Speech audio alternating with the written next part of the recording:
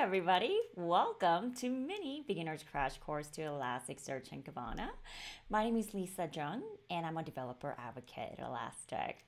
So this is a series of short videos for developers who want to get started with Elasticsearch and Kibana. In episodes 19 and 20, we learned about what mapping is and how string fields are mapped in Elasticsearch. We also learned that Elasticsearch dynamically creates a mapping for you if you don't define one in advance. Now, dynamic mapping is really helpful to have, but it's not always optimal for your use case. And by defining our own mapping, we can make indexing and searching more efficient. So today we're going to learn how to define an optimal mapping for a specific use case. And this episode builds on the material from episodes 19 and 20. So be sure to watch these episodes to get the full context. All right, so let's get organized here. I have two windows open side by side. On the left, I have the Kibana console. On the right, I have the Part5 repo. And this repo contains all the requests we'll be sending throughout this episode, and I've scrolled down to the mapping exercise section. Okay, so we're going to learn how to define our own mapping by doing an exercise. So imagine we're building an app for a produce warehouse, and our client wants to be able to search for produce name, country of origin, and description, identify top countries of origin with the most frequent purchase history, sort produce by produce type, and get the summary of monthly expense.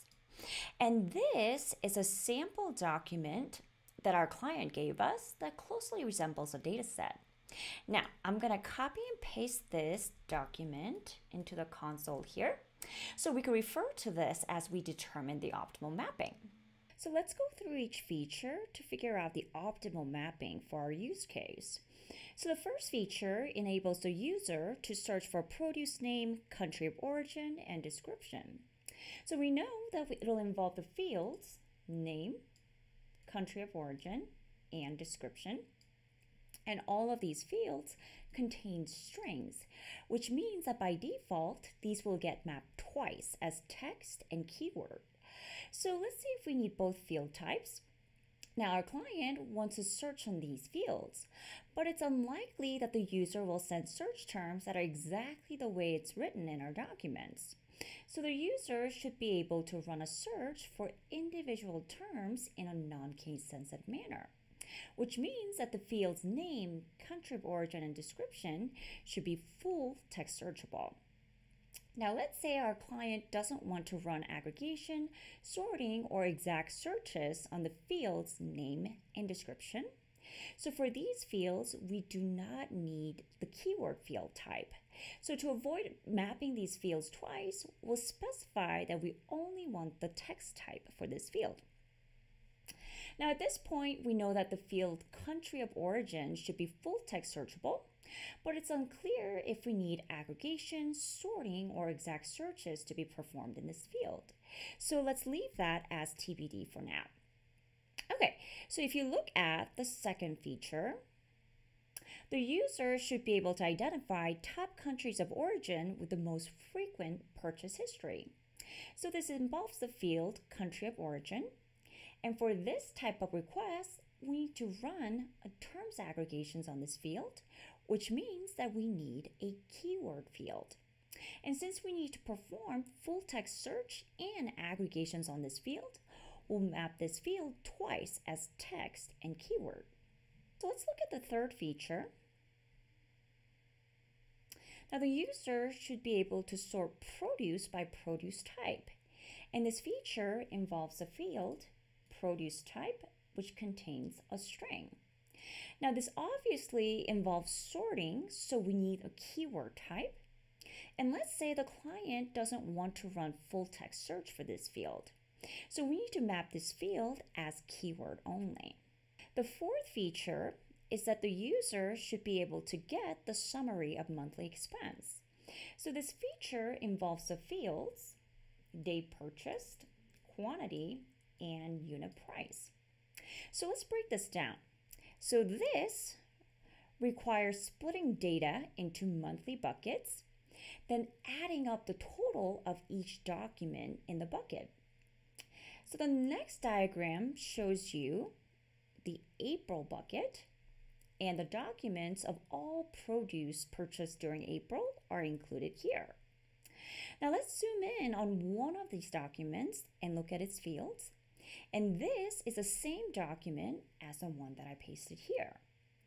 Now you'll notice that our document doesn't have a field called total. However, we do have fields called quantity and unit price. So to get the total for each document, we need to multiply quantity by unit price, then add up the total of all documents in each bucket, and it'll yield the monthly expense.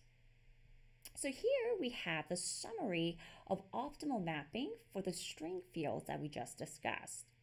Now for the last feature, we need to calculate the total for each produce so it could be used to calculate the monthly expense.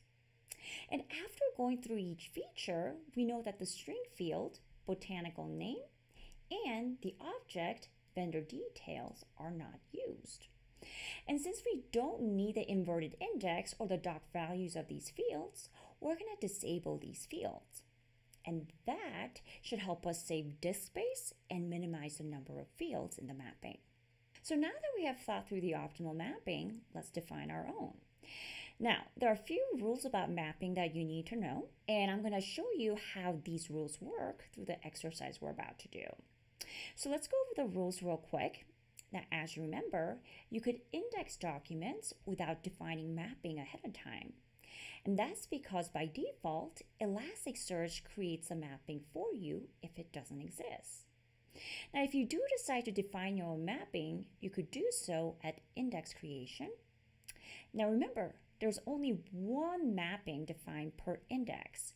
And once the index has been created, you could only add new fields to a mapping but we can't change the mapping of an existing field.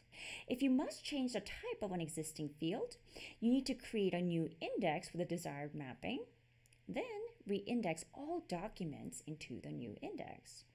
So let's see how these rules work. So first, what you need to do is to index a sample document into a test index.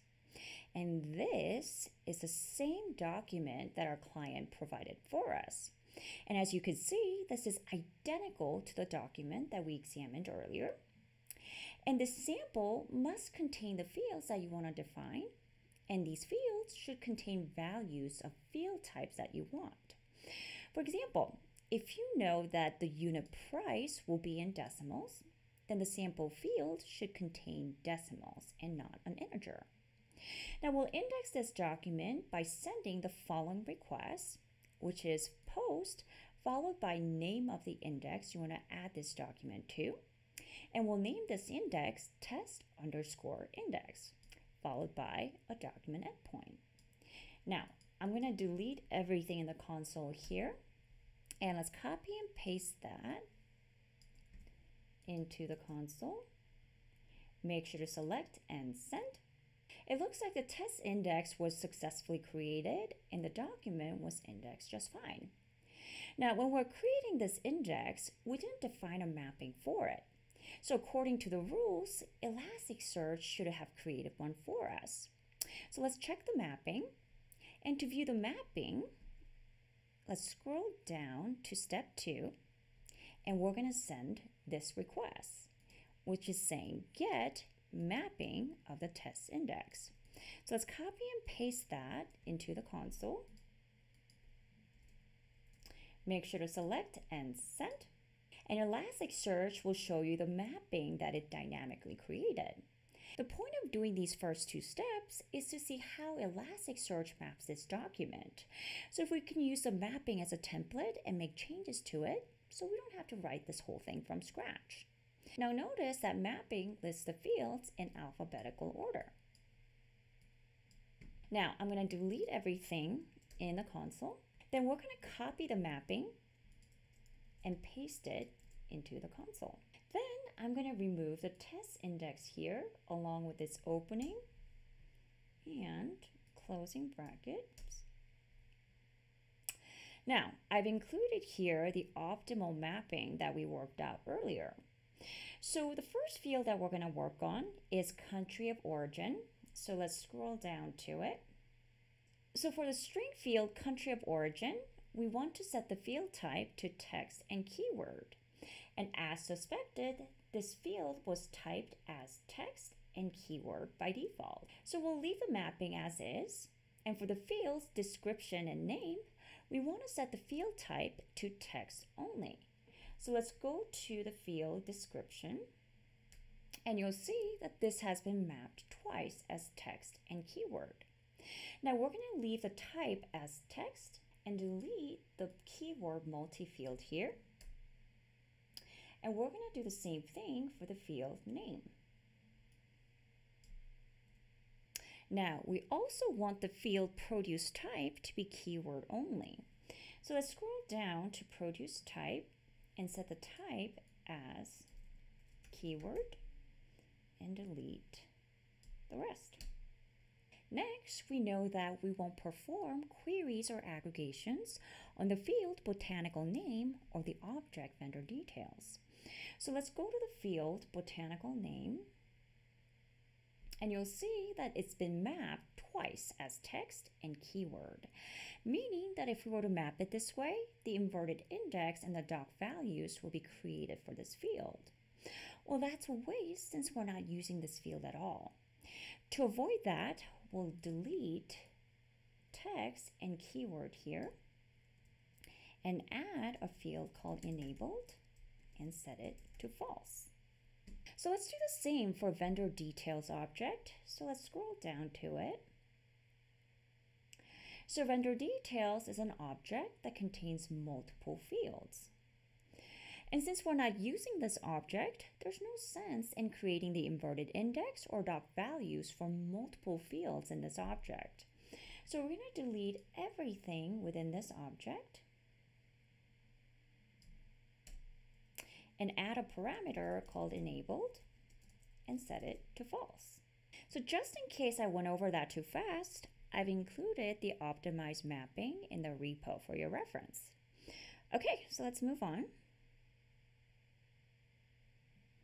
So what we just did is we defined an optimal mapping for all of our desired features except for the one that's marked with red X here. Now I'm saving this for the next episode, so don't worry about that for now. And next, we're going to create a new index with the optimized mapping we just created and scroll down to example. So here we have our optimized mapping and above the mapping, we add put followed by the name of the new index, which we'll name produce index. And since the optimized mapping is already in the console, I'm just going to copy and paste the top line here and paste it above. And this request will create a produce index with the optimized mapping we defined here. Now, I'm being overly picky here, but the indentation of this request looks a little off. So click on this wrench icon here and click on auto indent and it should fix it right up for you. Okay, so let's select this request and send. All right, it looks like it worked. But just to make sure that everything has been mapped correctly, let's check the mapping of the produce index. So let's scroll down to step five and down to example. So to do this, we'll send this request get followed by produce index, then the mapping endpoint. So let's copy and paste that into the console.